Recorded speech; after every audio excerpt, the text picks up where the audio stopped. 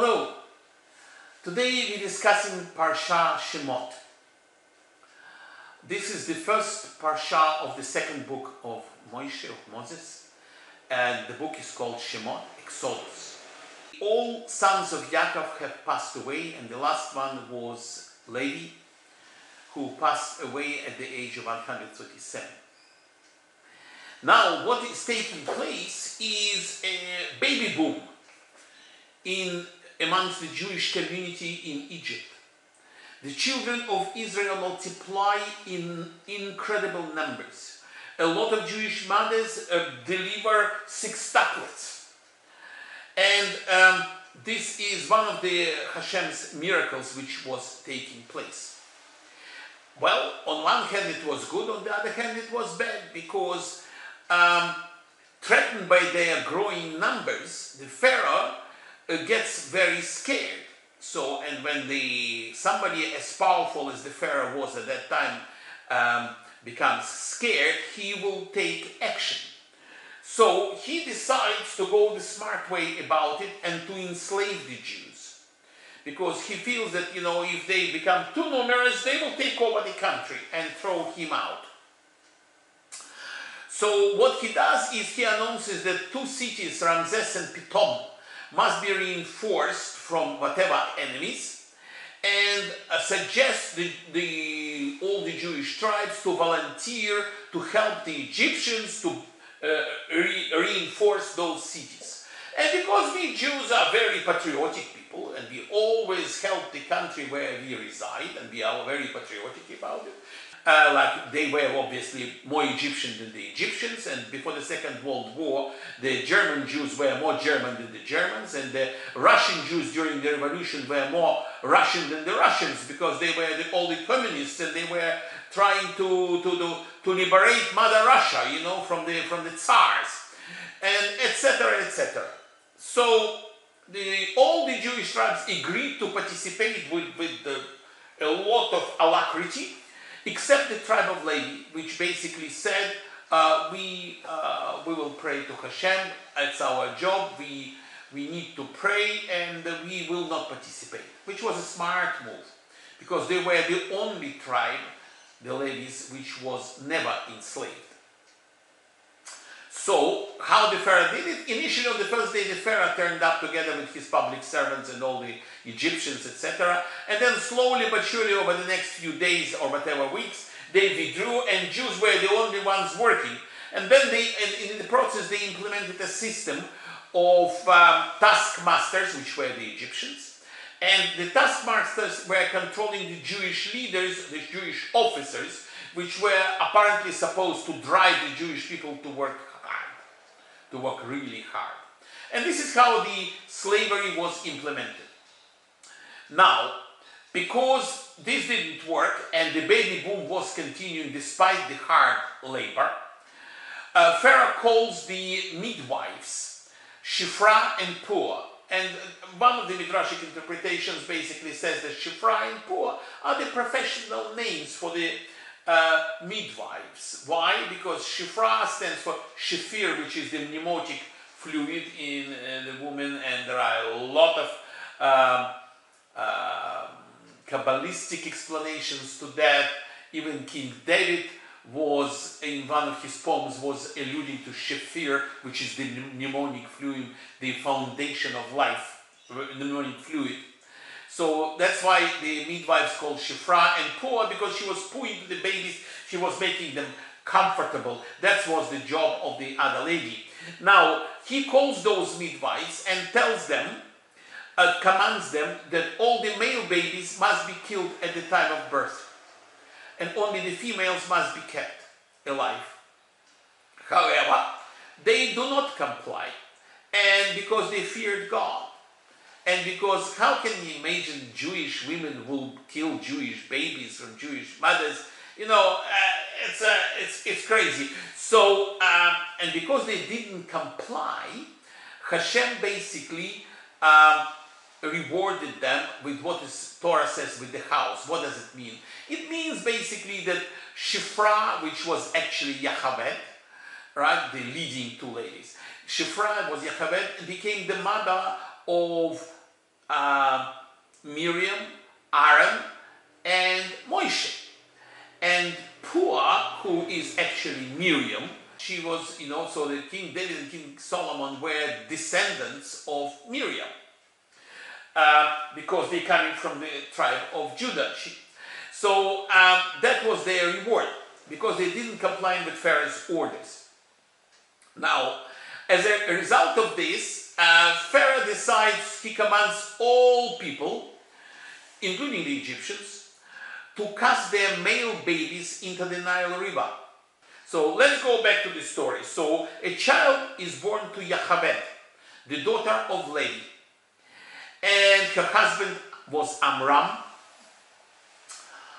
Uh, and on Adar, uh, that took place on Adar the 7th of 2368. And that was her son, Yocheved's son, who later on will be named Moses or Moshe. The Midrash is saying that the whole room was lit up in light when he came to this world. And uh, his powers, his future spiritual powers manifested immediately. Yocheved immediately understood that this is a, an unusual child and she uh, basically, uh, Moshe was born six months and one day old. So uh, she, Yocheved managed to keep him for three months um, secretly um, hiding him in the cupboard so that the Egyptians will not see him. Um, because the, the, Egyptians were expecting that uh, you know she'll deliver the baby uh, in nine months after she uh, basically got pregnant. Anyway, um, eventually, when Yocheved saw that it becomes very dangerous to keep the baby hidden, she because the Egyptians, if they will find him, they'll kill him. So she puts the baby into the water in a basket, and Miriam actually watches that basket from afar. It happened so, and nothing in life is an accident, so it was arranged by you know who, right? Pharaoh's daughter goes for a bath in the Nile River and discovers the boy. And um, she obviously needs a nursing maid to nurse the baby. And it happens so that Miriam is very brave, approaches the princess, and uh, basically introduces a Jewish nursing maid, which the baby will uh, have the milk from, which is obviously Yocheved. And Batia, the daughter of Pharaoh, offers her that she will pay her if she will nurse the baby. So we have got a wonderful situation where Yocheved, the mother of Moshe, nurses the baby and uh, uh, she kept him uh, with her until Moshe was actually 12 years old. She managed to stretch the nursing arrangement for as long as possible. So Moshe was well aware of who he is, that he is a Jew. He was well aware of the hardships of his people. However, at the age of 12, Yocheved passed him on to Batia because that was the arrangement, the agreement with the, with the princess. Now, um, so now Moshe is a young man and he is already 18 and he discovers the hardship of his people, of his brethren. Now he sees an Egyptian beating a Hebrew severely. And um, that's another long story actually about why this Egyptian was beating that Hebrew. And um, he kills that Egyptian. The next day he sees the two Jews fighting, who their name is Datan and Aviram. And um, he tells them why you Jews are fighting. And their reply to him was, you know, who are you to tell us what to do? What, you are our leader or somebody? Are you going to kill us the way you killed that Egyptian? So Moshe gets very scared. Now, obviously, those two guys were uh, act as informers and obviously betray Moshe, and they they, they, they know that. Uh, uh, so they tell the Pharaoh about it, and Moshe gets arrested.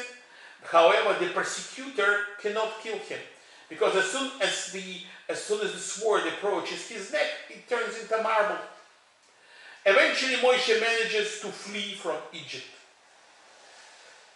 Now, the Torah basically tells us that Moshe fled from Egypt and went to uh, uh, Midian.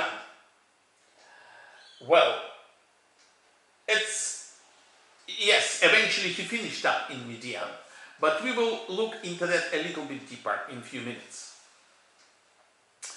So, uh, what I found in the Midrash that he actually fled to Ethiopia, where he joined the army, and nine years later he was crowned as a king.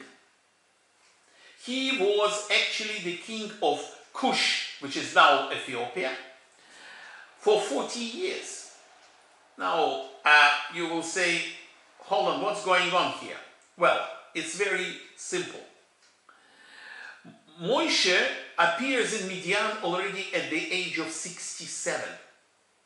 So he was 18 when he killed the Egyptian, and he, at the age of 67, appears in Midian. So where where was he for the last um, whatever it works out 67 18 50 years 49 years? Where was he?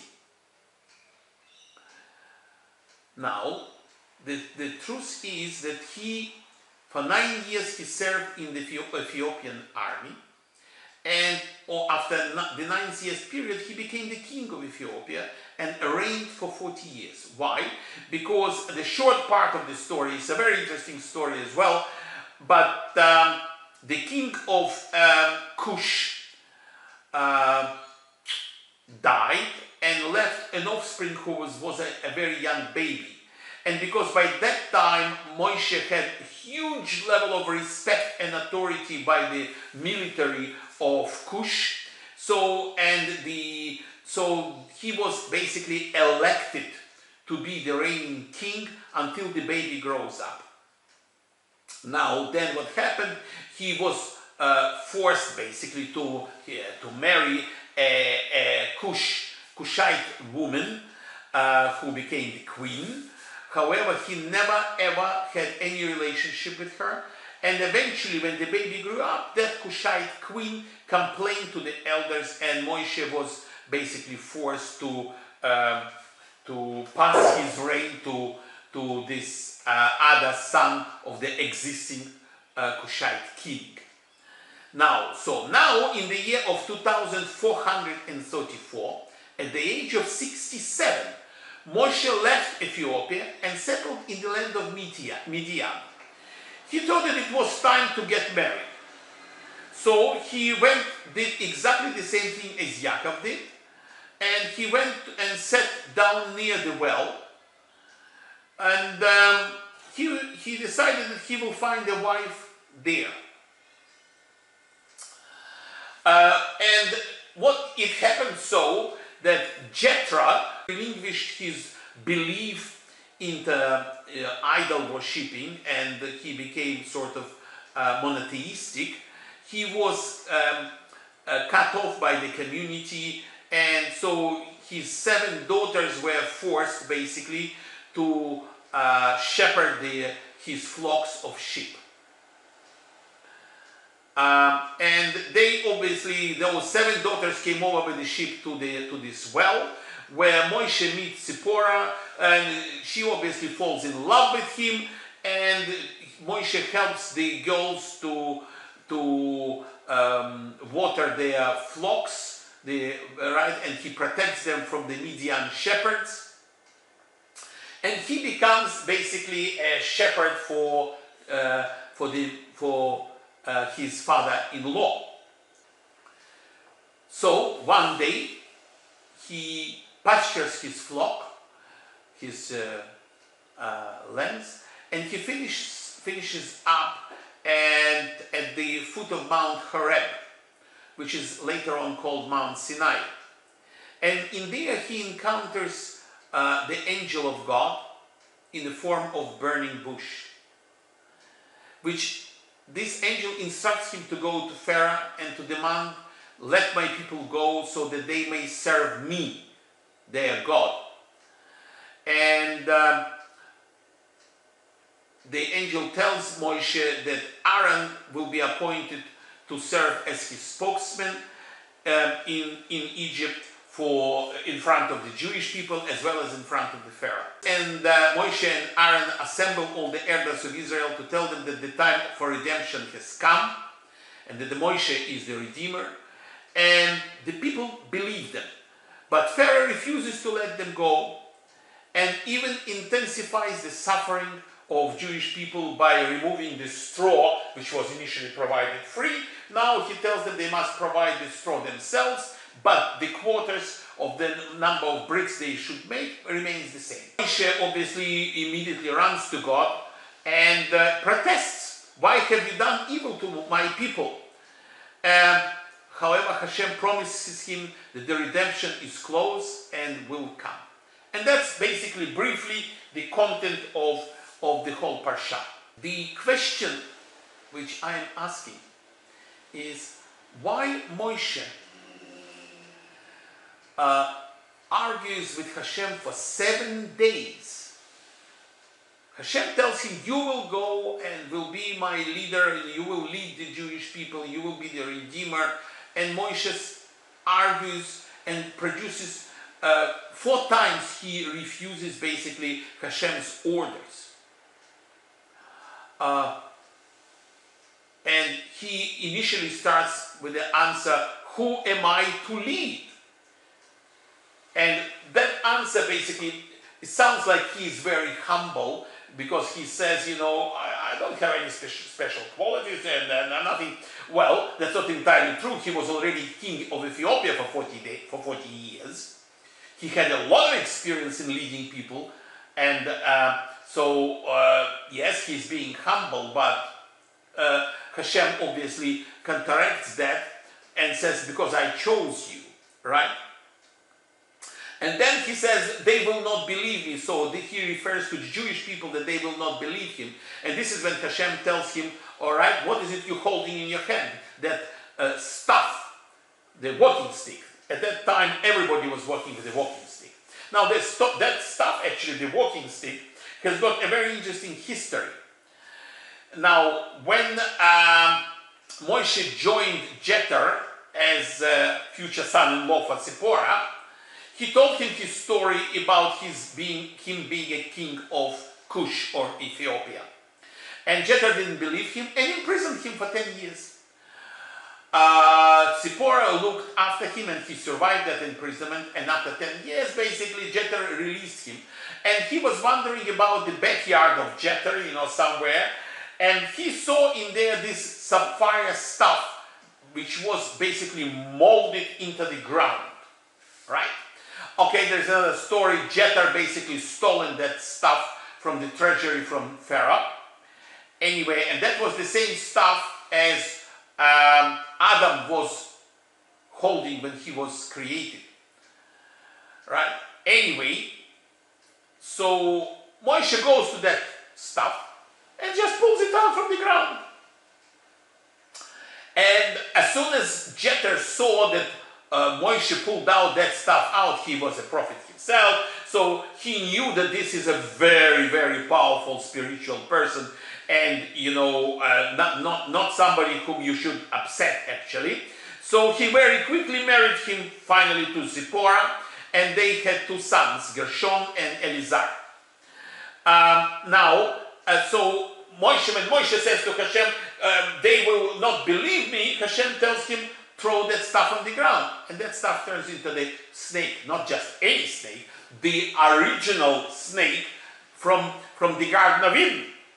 Now, and Moshe, who wasn't easily scared, was running absolutely terrified. And uh, uh, Hashem told him, stop, pick up that snake for its tail, and that snake turned, turned in back into the stuff. So Hashem tells him basically, this is one of the miracles which you will demonstrate to the Jewish people as well as to the Pharaoh. And then he tells him about uh, the water, which uh, will, if it touches the ground, will turn into blood, will turn into blood. And then because he, Moshe basically said that the Jewish people will not believe me, he basically said Loshon Hora. He accused them. So Hashem demonstrates to him the following thing. He tells him, put your hand in your, uh, in your bosom, you know, here, and the hand turns white. Tzara. Exactly the same thing which um, leprosy basically, which uh, basically afflicted later on Miriam. And then Hashem tells him to put the hand in again, and it comes out absolutely healthy. And then Moshe argues the third argument I am not a man of words.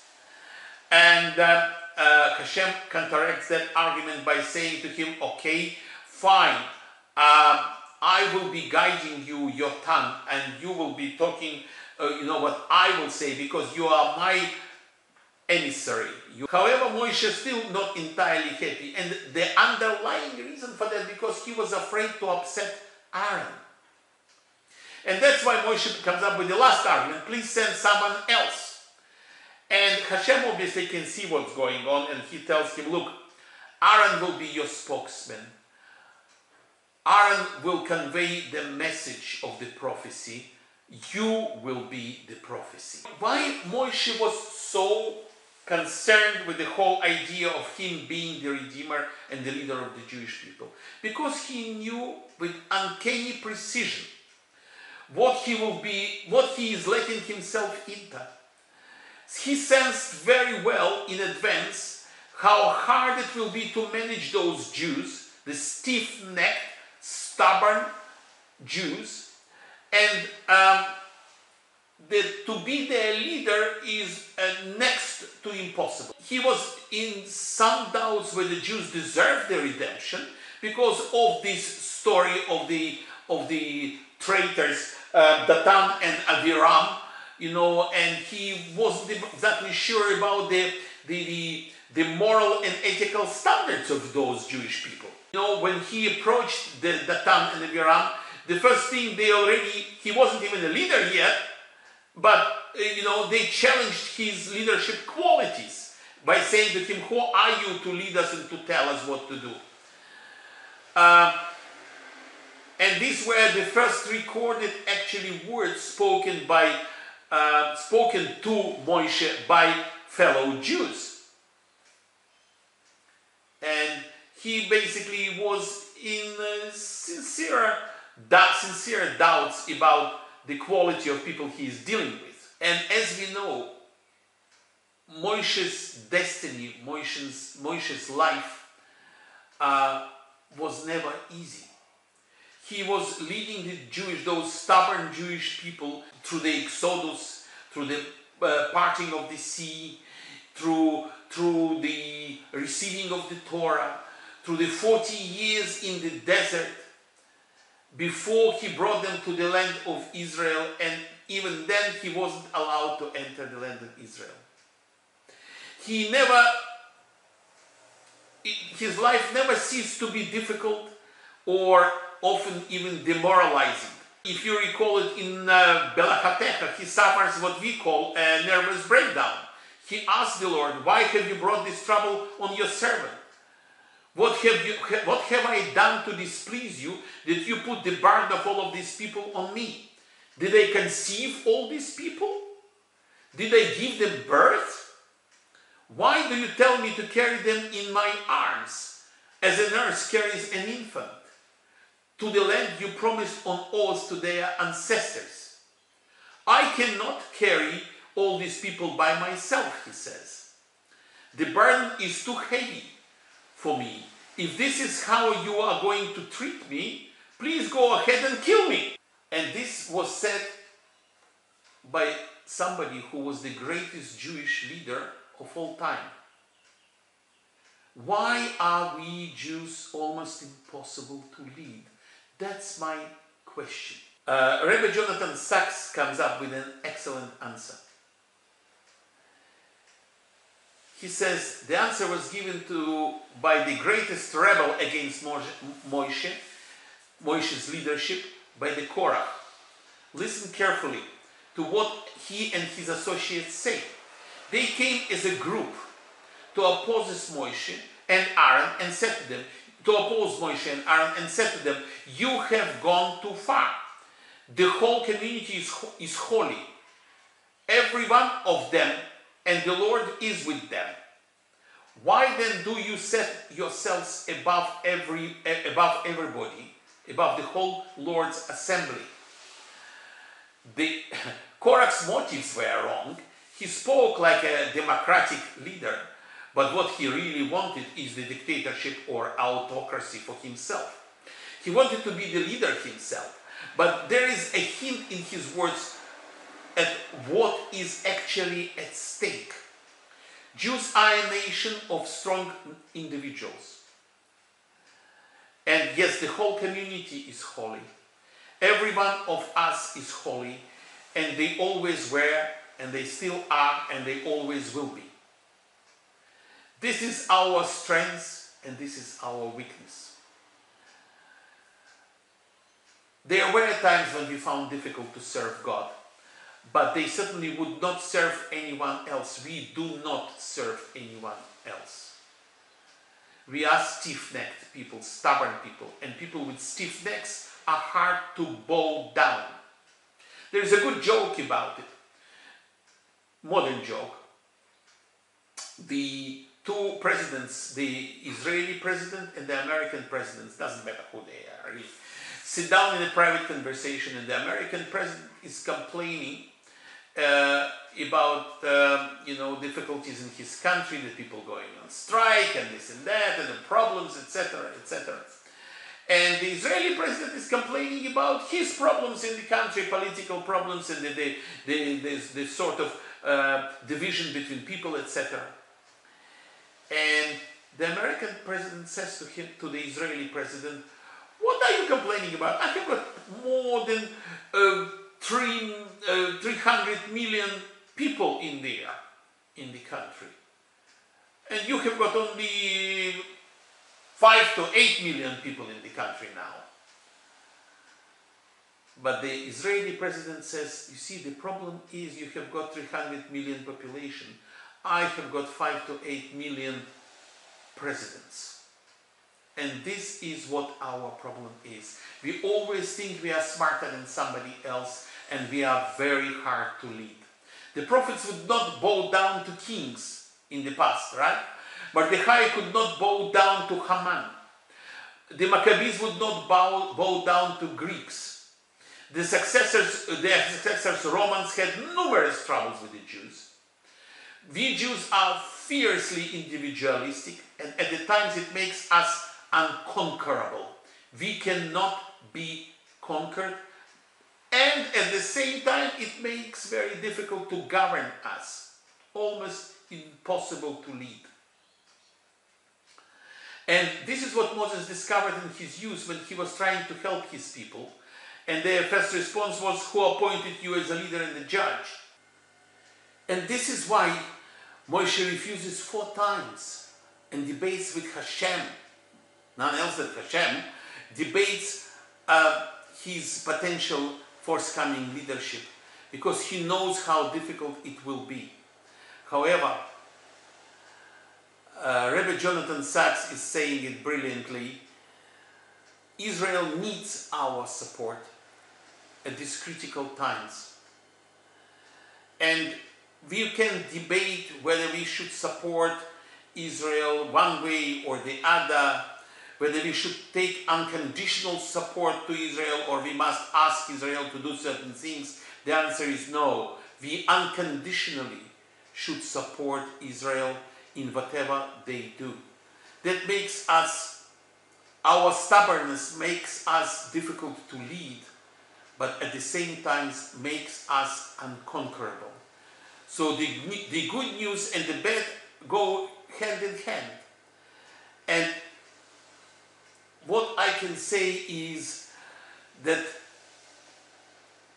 we should probably try to conquer our stubbornness and to organize together, to mold together our resolve as Jewish people to stand up for Israel to support Israel in every way we. Thank you very much. Have a nice day.